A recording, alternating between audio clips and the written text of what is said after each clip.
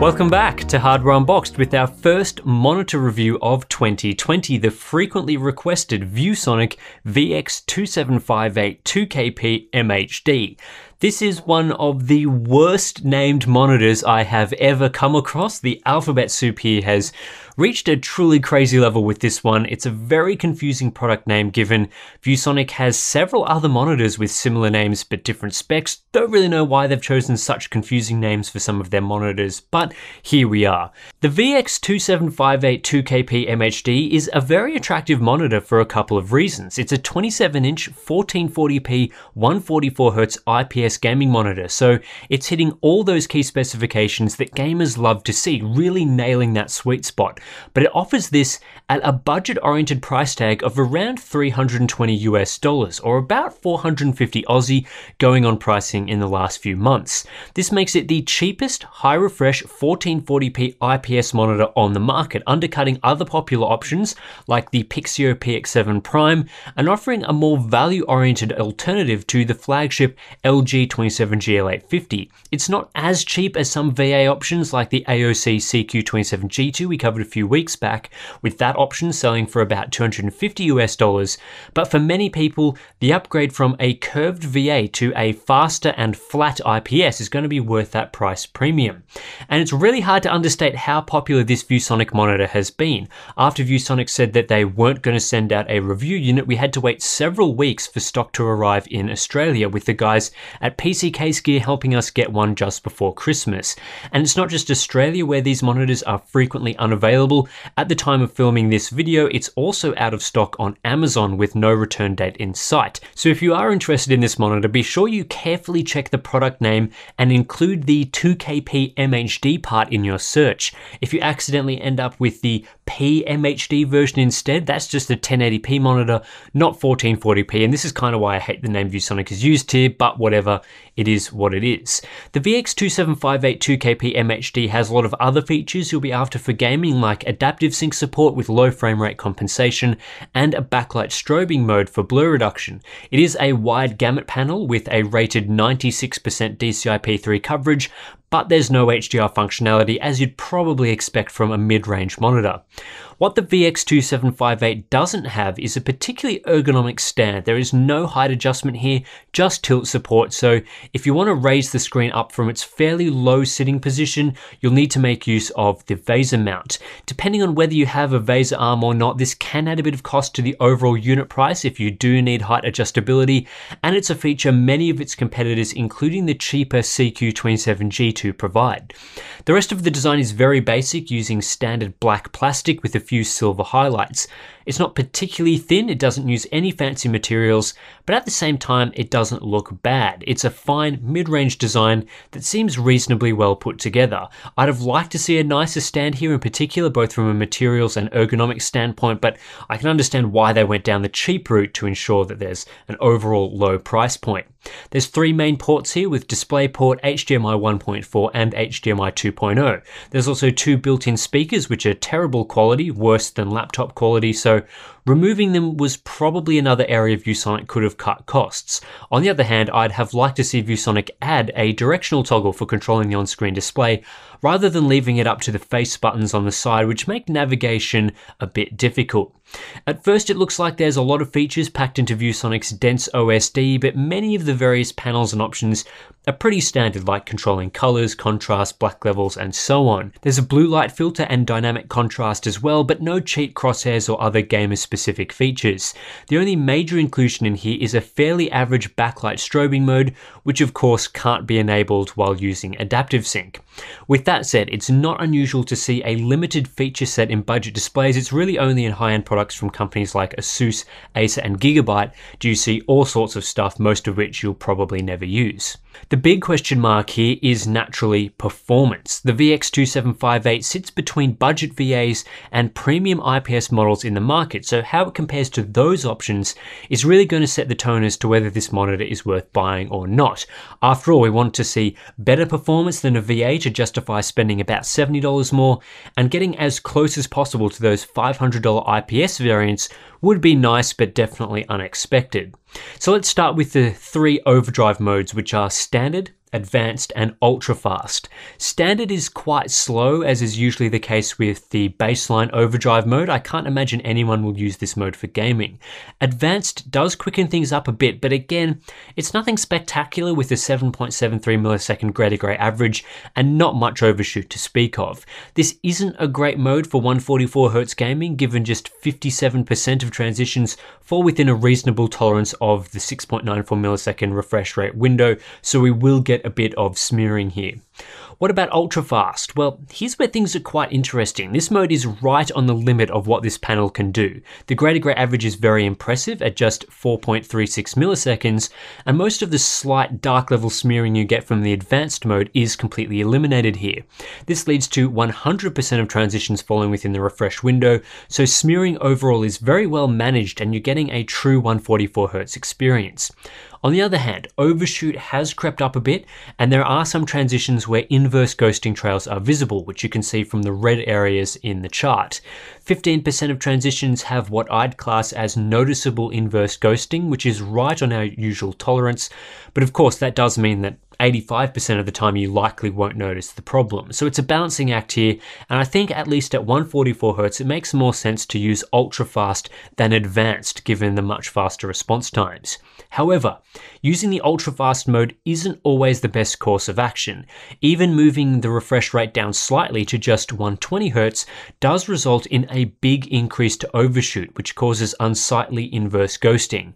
Yeah, the response time average around 4.3 milliseconds is maintained, but ultra-fast isn't a great experience here due to those inverse ghost trails you'll see behind fast-moving objects.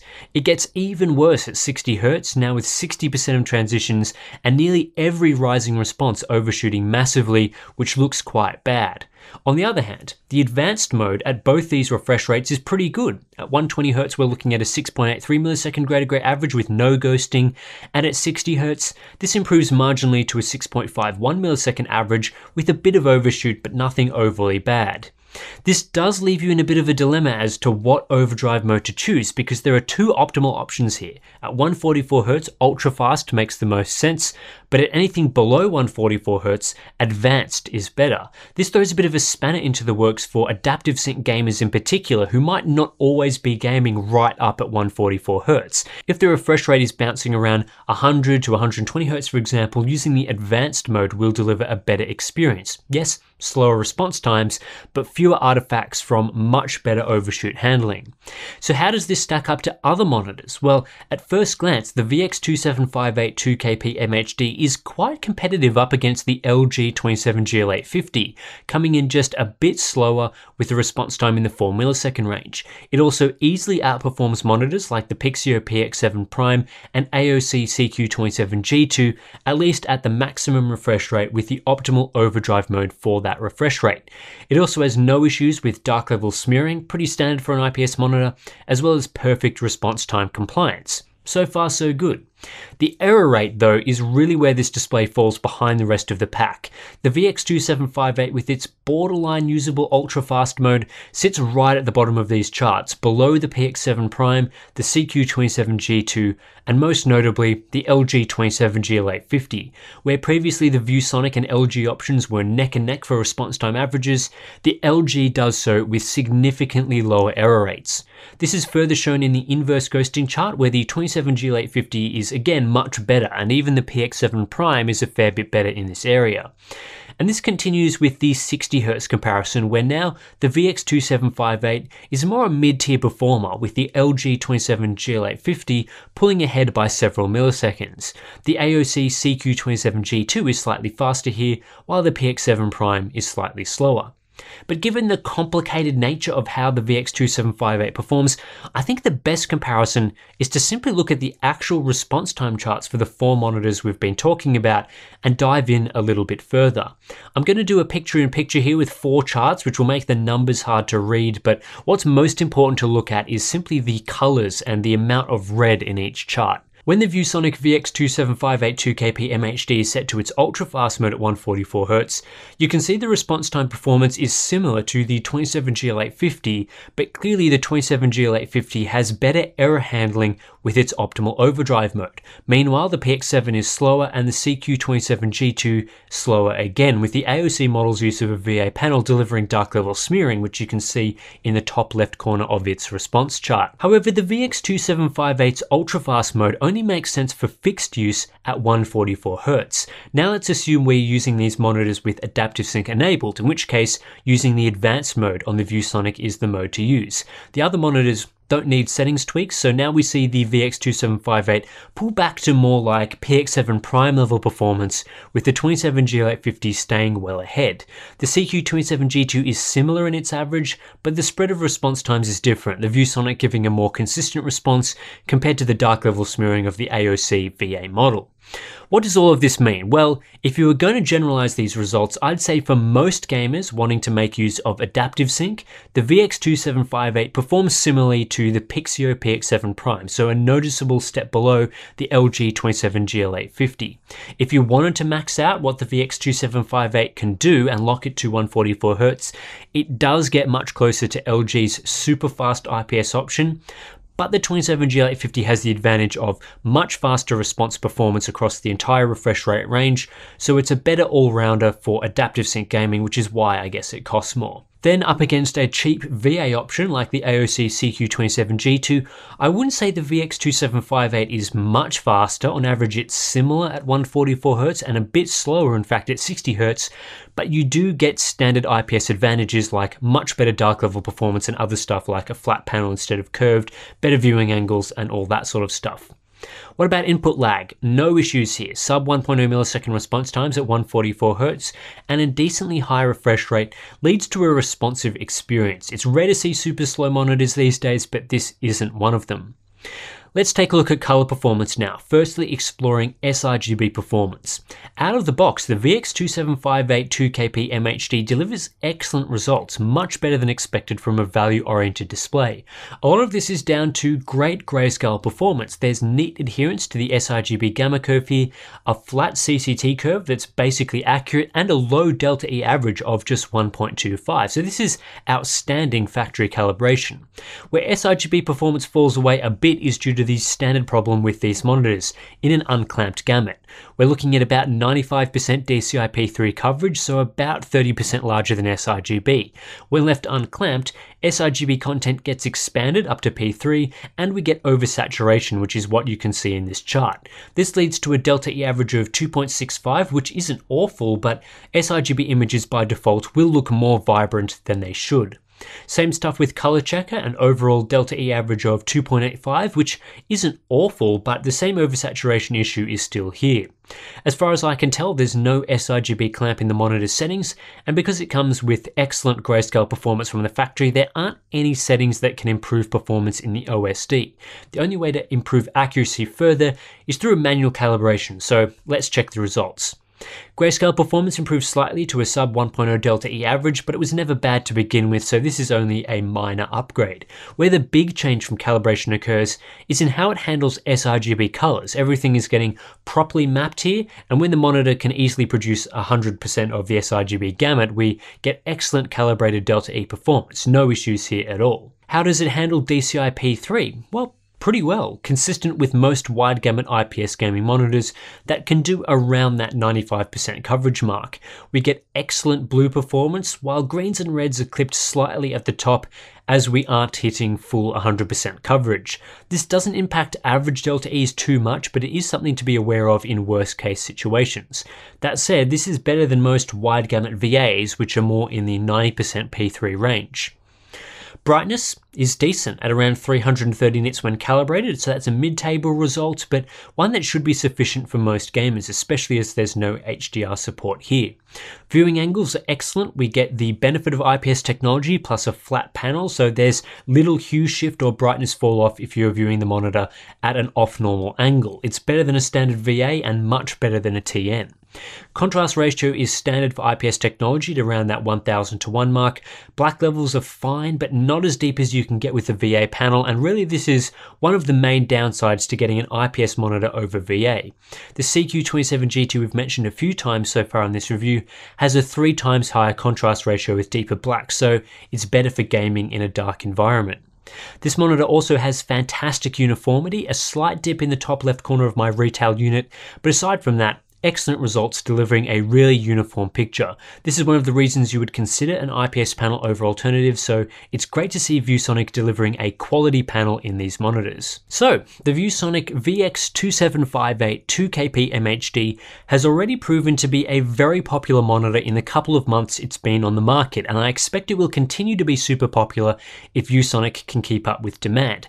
After all this testing though, we do now know whether it's actually a good buy or not, and whether all those early adopters actually have spent their money well. The good news is that in most areas, the VX2758 performs well. Response times, we've done a lot of discussion on that throughout this review, so I won't recap that all again in detail here, but the general picture we got from testing is that it's a mid-range IPS performer with the ability to push up close to LG's flagship 27G850 in some limited circumstances. I think the 27G850 is much better overall. It's faster with lower error rates across a wider range of refresh rates, but there's no doubting the VX2758 performs well in its price category, so no major issues there. It also surprised me with strong factory color performance, particularly for grayscale, and it supports a decent wide gamut experience. When you combine that with fantastic uniformity, excellent viewing angles, and decent brightness, this monitor delivers a great viewing experience that holds up really well, especially after calibration. There are a few neat bonuses here too, like great input lag and a backlight strobing mode for blur reduction. Most of the downsides here aren't really related to the panel itself, which is great news for those that just want a good quality panel. The build quality is lackluster, the stand doesn't support much adjustability, and the on-screen display is awkward to use and doesn't include many features. I guess another downside is the top level of performance is only really usable at 144Hz, with most of the adaptive sync range requiring a slower overdrive mode to avoid overshoot. So how does the VX2758 2KP MHD end up looking in the market and is it worth buying? Well, let's look at the three main comparisons individually. Firstly, the LG 27G850 is still a much better monitor with a better quality panel, better performance, and better design. This isn't a huge surprise as it costs about $180 more and it is a high-end monitor, not a mid-range option, but unfortunately for those hoping for a miracle, the VX2758 isn't just a cheap 27G850. Compared to the Pixio PX7 Prime, I'd easily recommend the VX27582 KP MHD, and this would make it my new go-to value IPS gaming monitor option. The PX7 Prime costs $430, so more than $100 more, and for that extra price, you're basically getting a better stand and a slightly higher refresh rate. Response time performance between these two monitors ends up very similar. I don't think the difference between 144Hz and 165Hz is all that large, so save the cash and get the ViewSonic monitor instead.